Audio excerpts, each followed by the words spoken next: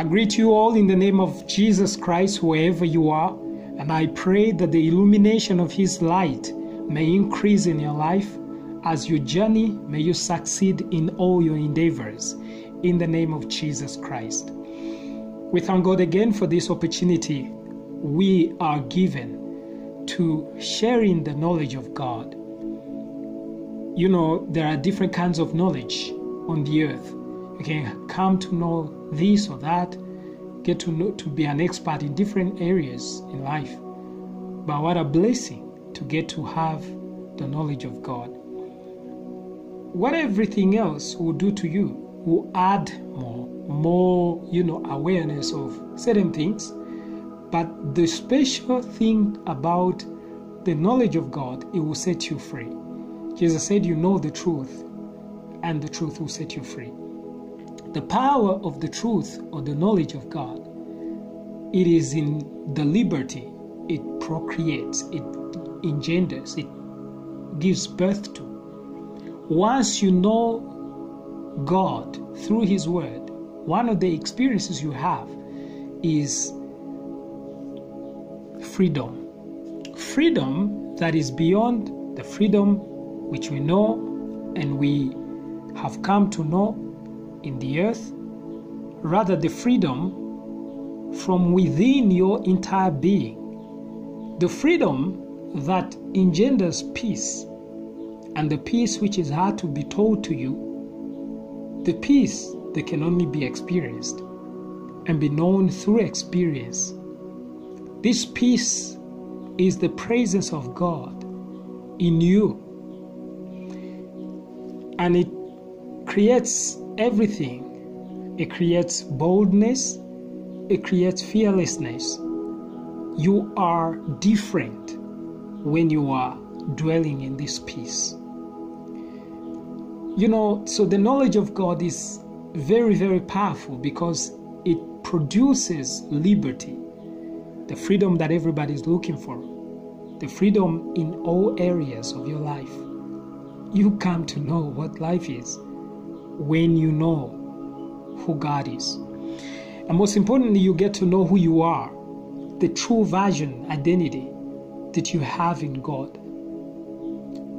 We are seeing something very amazing in the book of Colossians, chapter 2, verse 10. He says, And you are complete in Him who is the head of all principality and power. And ye are complete in Him who is the head of all principality and power. Jesus is unprecedented. You know, there was no greater person, greater event that supersedes the one of Jesus Christ in his birth, life, death, burial, resurrection, and ascension. This life of Jesus Christ, which assumed all of us, all humanity, and took us with him in that same body so that we may experience or have this union with God through Jesus Christ, who is now the mediator between man and God, who is the sample of our true identity and the true version, is the greatest event that ever happened, ever, ever took place. Whether you talk about incarnation, when he appeared on the earth, on the cross, oh my, my, resurrection, all these experiences, the greatest thing about it is not that it happened to Jesus. The greatest thing about it is because it happened to all of us. It was happening to all humanity at the same time. And that is the secret of and the power of salvation or the work of Jesus. It's inclusive. That is the secret. It is inclusive. We cannot be separated from what He did. Otherwise, He's not who He is. If He is who He is, then He assumed all of us. What happened on the cross happened to all of us. What the gospel does is to reveal to us what happened in our participation in that noble work. We have read in Colossians, and we are told that in him we are complete. But the one in whom we are complete is talking about Jesus Christ. He who is the head of all principalities and power. I gave yesterday the example of Moses, examples of David's, the example of different characters in the Bible that were heroes or did greater things, great things that still speaks even today. But something so unique, so unique about Jesus Christ, he says he's the head of all principalities and all powers. Put all the power that you have ever known together in your mind. The power of kings, emperors, empires, a power of great men, great nations, history, what people call dark power, evil power, whatever power that you may know. He says he is the hate. He is the hate. He is the hate. Oh my God. He is the source. He is beyond. He is above. We are told that He is the head of all principality and power. And I like it. He calls it power, not even powers. Because to Him, there's only one power that exists, and that is His power. He says we are complete in His, in the one who is the head of all power and principality.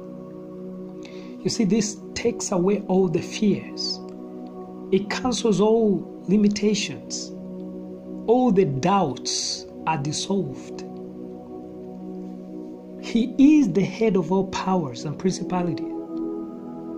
All the all, all the power and principality. So if he says that we are complete in him, we are complete in what? He says we are complete in one who is the head of all power and principality. So it means we are complete in power. So, in other words, the same power that resides, that dwells in Him, is given to us. We share the same power because that's where all power, above all power that is known or that is not known, it is find, found in Him. He's the head of all power and principality.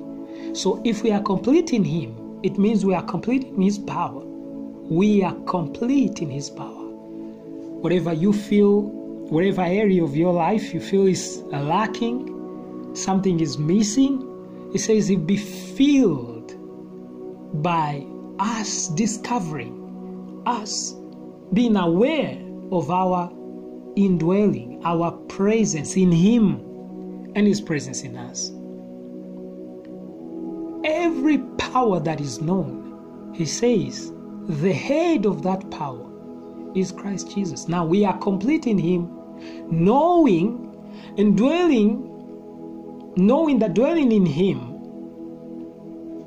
it is the safest place it is the safest place we can ever find.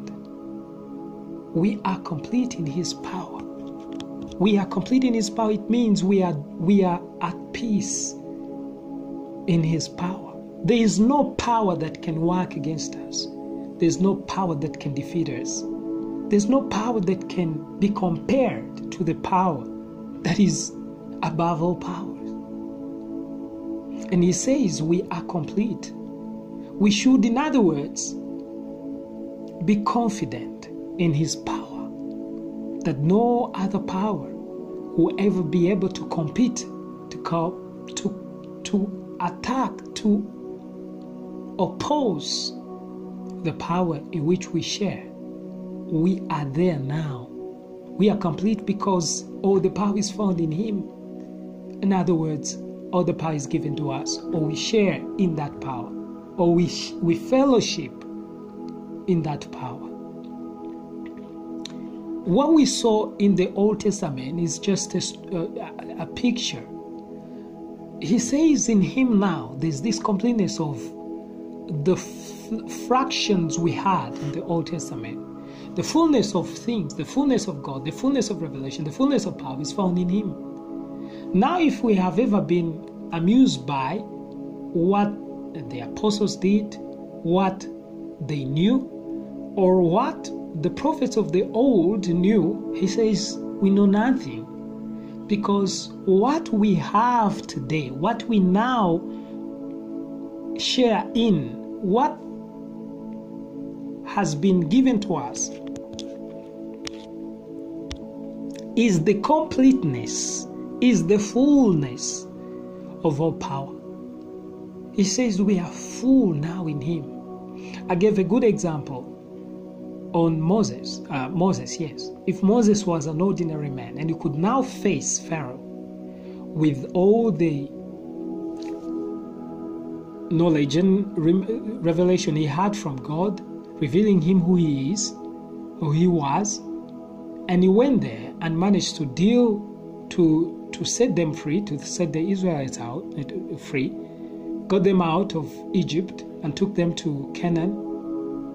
If the man with no complete power did it, if he if God was using this man and he was working with this man to to do that, imagine how much more us who are now in the fullness, in the sharing, in the communion of the fullness of all power and principality. You know, he's telling us think about what you can now, what will happen to you, what will God will do through, through you, what God wants to do through you, what God is seeing in you, what God thinks that is possible with you, in you, through you, as you. He says, if this happened in the old, think about the completeness in which you share today, the fullness. So we are complete in Him. The one who is the head of all powers and principalities. It just means we have nothing, we have not seen anything yet. We have not seen anything yet.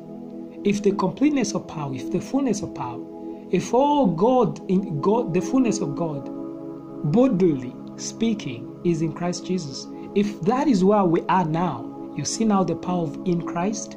This is what I'm trying to share. That in Christ Jesus, it is the difference. It is the difference. It is the difference. This is the greatest message, the powerful message you ever found. You are in Him. And once you are in Him, all you need is the awareness, be awakened in your heart, be awakened in your mind. Wake up and discover that you are in the fullness, in the fullness of all power, principalities. That means all power is under you, all principle principalities under you. You are complete in Him. You are happy in Him. You are now satisfied. And you can now begin to be bold, fearlessly, engage in life with this awareness, with this mindset and mentality that you are full and you are enabled by all the power of God working in you. Paul will say that over and over again because he had come to understand the reality of being in Christ Jesus. Shalom, shalom.